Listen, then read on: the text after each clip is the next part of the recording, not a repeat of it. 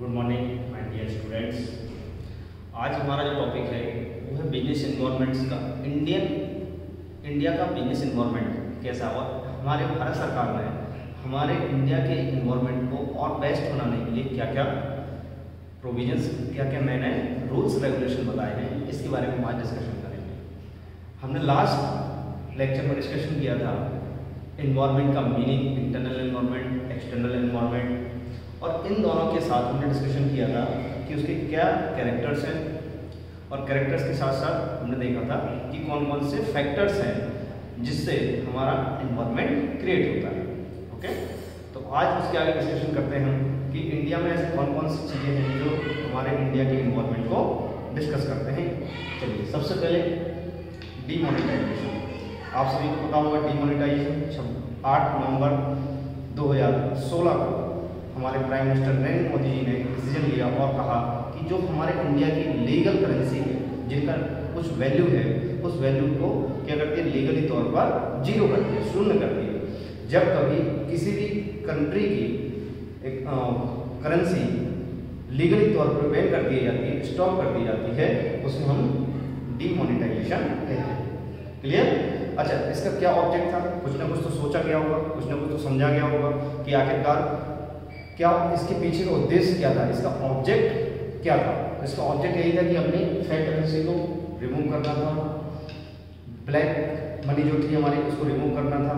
Fake currency को remove करने के लिए, हमारे इंडिया की ग्रोथ को करने के लिए और साथ में हमारे इंडिया को डिजिटल मोड में ले जाने के लिए डिजिटल फॉर्म में ले जाने के लिए टैक्स के इमिशन को रोकने के लिए फेक करेंसी को रोकने के लिए करप्शन को कहीं ना कहीं रोकने के लिए। इन सब चीज़ों को ध्यान में रखते हुए गवर्नमेंट ने एक डिसीज़न लिया डीमोनिटाइजेशन क्लियर तो डीमोनिटाइजेशन के कुछ पॉजिटिव इम्पैक्ट भी निकले और कुछ नेगेटिव भी। नेगेटिव इम्पैक्ट कौन से निकले? जैसे एडिवेंट्स इनसफिशियंट फंडिंग हो गई। एक समय के लिए हमारे पास पैसा ही नहीं था, क्योंकि वो पैसे क्या थे? सब जो थे वो लीगली तौर पर वेन हो चुके थे। तो इनसफिशियंट फंडिंग हो गई साथ में एडवर्स अफेक्ट पड़ा। कुछ ऐसी इंडस्ट्री थी जिन पर पॉजिटिव की जगह एडवर्स उल्टा रिलेशन एडवर्स अफेक्ट पड़ गया। जो चीज़ें ग्रो करना थी वो क्या हो गई? डाउन जैसे कि टूरिज़्म हमारे यहाँ लोग आते थे विज़िट करने। अचानक से बंद हो गई क्योंकि करेंसियाँ क्या हो गई थी? बंद हो गई थी। साथ में हमारी जीडीपी है कुछ नीचे डाउन हो गई थोड़े समय के लिए। तो ऐसे कुछ पॉजिटिव इम्पैक्ट पड़े और कुछ नेगेटिव इम्पैक्ट भी पड़े। इसके साथ साथ गवर्नमेंट समय समय पर कुछ और डिसीज़न लेती रही। और एक बार डिसीज़न लिया गया लिबराइजेशन इसको हम ऐसे कहते हैं L E G liberalisation liberalisation का मतलब गवर्नमेंट ने वो सारे रिस्ट्रिक्शंस क्या? वो सारे रिस्ट्रिक्शंस रिलैक्सेशन दे दिए हमको, और सारे रिस्ट्रिक्शंस हटा दिए। किस चीज़ की? लाइसेंस लेना परमिट लेना, किसी चीज़ की मेंबरशिप लेना यानी कि बिज़नेस करने से पहले, आपको किसी बिज़नेस को ओपन करने से पहले, जहाँ आपको लाइसेंस जहाँ आपको रजिस्ट्रेशन मेंबरशिप परमिट इन सब चीज़ों की नीड थी, वो सब क्या कर दिए? धीरे से हटा दिए गए। क्यों हटा दिए गए? ताकि आप, हम सब लोग क्या कर सकें? बिज़नेस की तरफ़ ज़्यादा ध्यान दे सकें और इजीली तरीके से अपने बिज़नेस को स्टार्ट कर सकें। इसलिए भारत सरकार ने क्या किया? एक कॉन्सेप्ट अप्लाई किया लिबराइजेशन कि वो सारे रिस्ट्रिक्शंस जो लगे हुए हैं, उन सबको हटा दिया जाए, जिससे हमारी इंडिया की इकोनॉमी क्या करेगी ग्रो करेगी, साथ में बिज़नेस के लिए नई अपॉर्चुनिटी मिलेगी अपॉर्चुनिटी के साथ लोगों को एम्प्लॉयमेंट्स मिलेगा, हमारी इंडियन इकोनॉमी ग्रो करेगी। तो इंडिया की इकोनॉमी को ग्रो करने के लिए भारत सरकार ने ये डिसीज़न एक बार और लिया। इसके कुछ ऑब्जेक्ट भी थे, जैसे अभी हमने इसके ऑब्जेक्ट देखे, इसके भी कुछ ऑब्जेक्ट्स थे।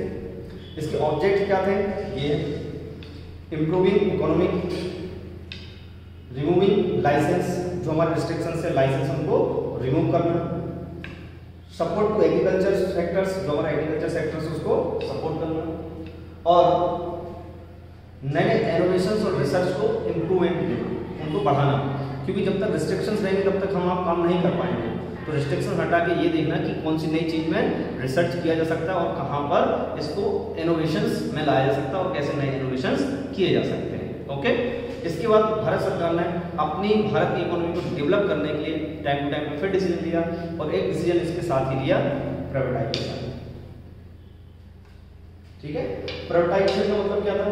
भारत सरकार की कुछ ऐसे ऑनरशिप में, भारत सरकार के ऑनरशिप में या किसी भी स्टेट गवर्नमेंट के ऑनरशिप में कुछ ऐसी इंडस्ट्री थी जिनको वो कंट्रोल करने नहीं चाहते थे, या फिर वो धीरे धीरे क्या हो रही थी गवर्नमेंट के ऑनरशिप में रहते हुए डाउनफॉल जा रही थी, या उनका मैनेजमेंट प्रॉपर नहीं हो पा रहा था।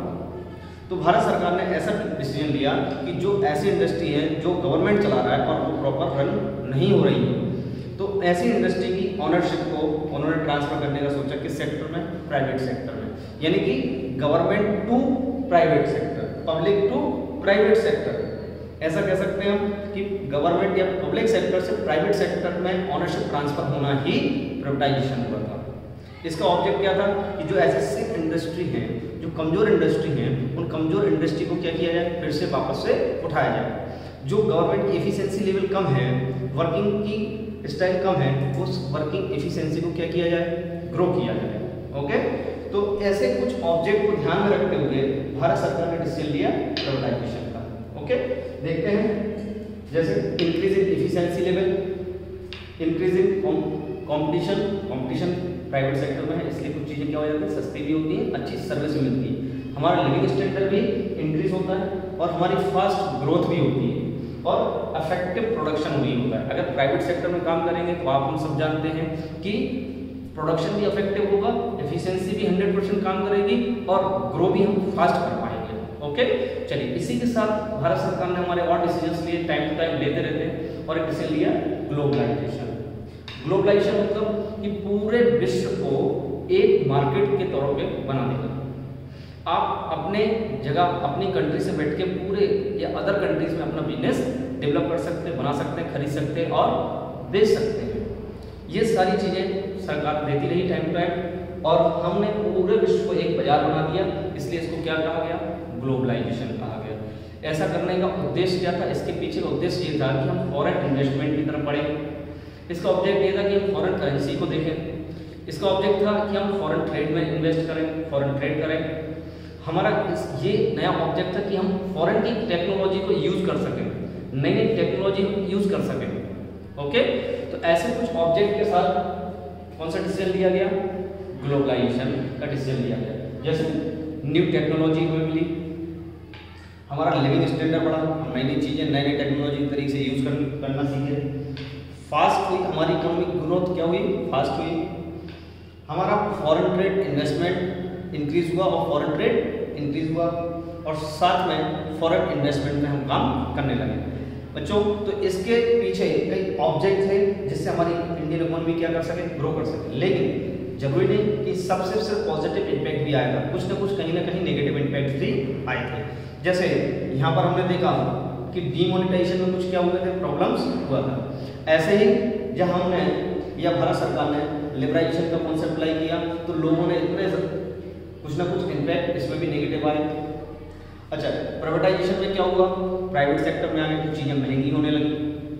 सर्विस अच्छी मिली, ठीक है सर्विस अपनी जगह है, लेकिन क्या होने लग गया? चीज़ें महँगी मिलने लगी। ठीक है? तो कहीं ना कहीं महँगाई या फिर कहीं ना कहीं प्राइवेट प्राइवेट सेक्टर में आने से चीज़ें महँगी होने लगी। ऐसे ग्लोबलाइजेशन से हमने क्या किया? अपना डोमेस्टिक मार्केटिंग होने लगे धीरे धीरे क्योंकि लोग किसकी तरफ़ मूव करने लगे? फॉरेन ट्रेड की तरफ़। तो हमारा डोमेस्टिक मार्केट क्या हो गया धीरे धीरे डाउनफॉल होने लगा। तो कहने का मतलब ये है कि हर एक जगह पॉजिटिव इम्पैक्ट भी थे तो कहीं ना कहीं कोई नेगेटिव इम्पैक्ट भी थे। तो बच्चों, दो पार्ट में इस चैप्टर को मैंने डिवाइड करके आपको वीडियो बना के दिया है। पहला चैप्टर आपका था बिज़नेस इन्वायरमेंट जिसमें सारी कैरेक्टर्स से लेके मीनिंग से लेके, और उसके फैक्टर्स थे। दूसरा आपका ये है, जिसमें आपको ये चारों चीज़ें मैंने क्या की है? एक्सप्लेन की। ओके उम्मीद करता हूँ आपको अच्छा लगा होगा। Okay thank you bye bye